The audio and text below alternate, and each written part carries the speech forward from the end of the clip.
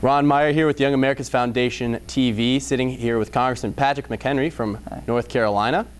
And I just wanted to ask you about youth issues, particularly why young people should be involved. You're one of the younger members of Congress. Why should young people care about politics? Well, because it affects them.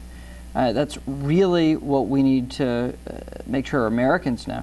Not just young people, but even people that are, you know, not politically attuned that are that are older, um, because our government is making decisions for us every day, whether it's a, at the county or city level or the state and federal level, uh, that affect our lives. Whether it's about education policy, tax policy, even roads. You know, so we need to make sure that people understand the impact that government has on their lives, and they have an opportunity to affect the outcome.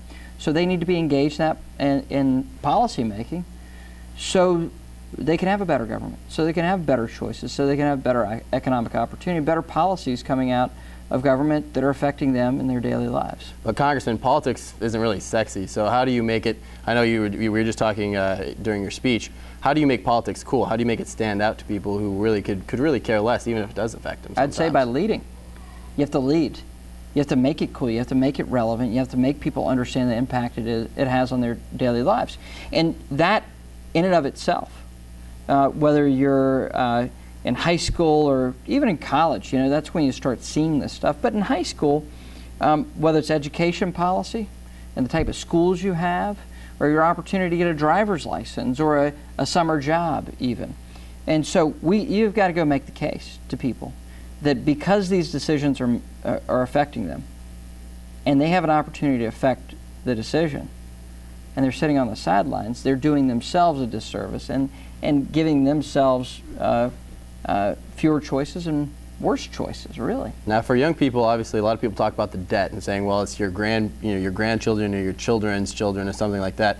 What would you say to make it relevant to young people now? What's coming up? It- it- Does this big spending really affect us here and now? And how do we get young people to really care about that? that Well, it's a good question.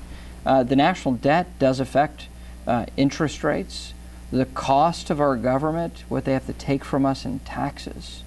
Um, and so I'd say to young people, this debt issue is uh, even more important to them because they're going to have to deal with the consequences of the bad decisions uh, that have been made and the overspending that is that has happened in Washington. We're going to have to bear the brunt of the burden and paying for it.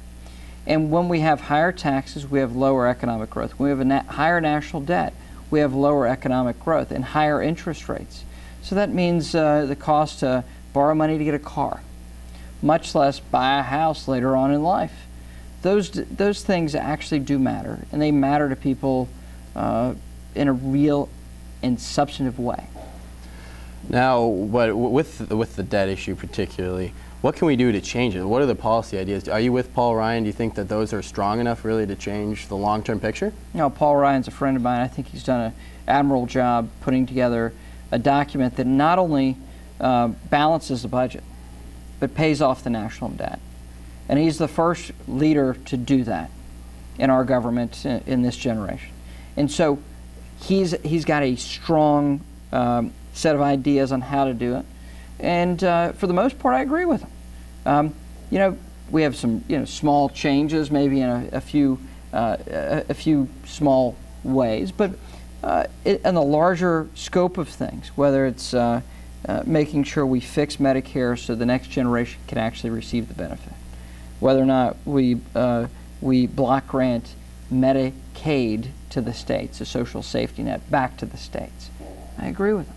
Those are really important things we have to be uh, focused on so that these programs can continue to exist, so that we can still have a, a government that functions, that we don't have a debt crisis, and that we have economic growth and opportunity. Now, speaking of economic growth and opportunity, you said that, that unemployment for young people is at a historic low.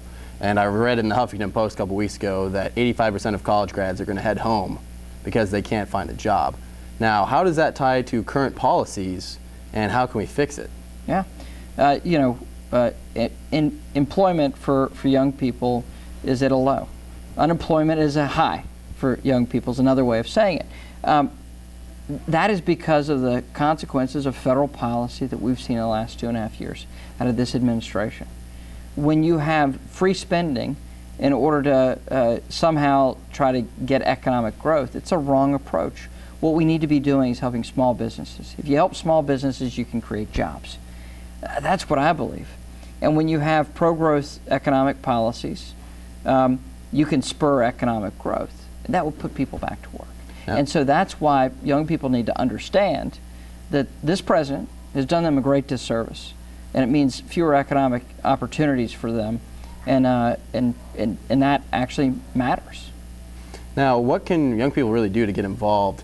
And uh, what sort of organizations, I mean, what, what can people do by joining Young Americans Foundation and, and uh, like organizations to really change this, to help youth unemployment, to help with economic prosperity in the future? Well, there are a couple things. I mean, Young America's Foundation gives you an opportunity to understand the fundamentals of what really conservatism is all about, uh, what uh, free markets actually do, and what they mean. And, um, and going back to that Ronald Reagan message of economic freedom and liberty, more choices, more opportunity, optimistic view of what, what we can make of this country and of this world we live in that that can actually give you a solid foundation to make good choices.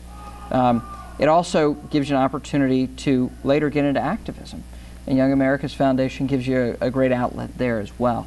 Um, and and that's why this organization is so fantastic. It was because because not only uh, does Young America's Foundation reach out and, and uh, teach young people, but it actually gives them a meaningful way and a meaningful outlet to impact their community, their campuses, and everything else. Congressman, thanks for sitting down with us. Thank you. Appreciate it. Appreciate it.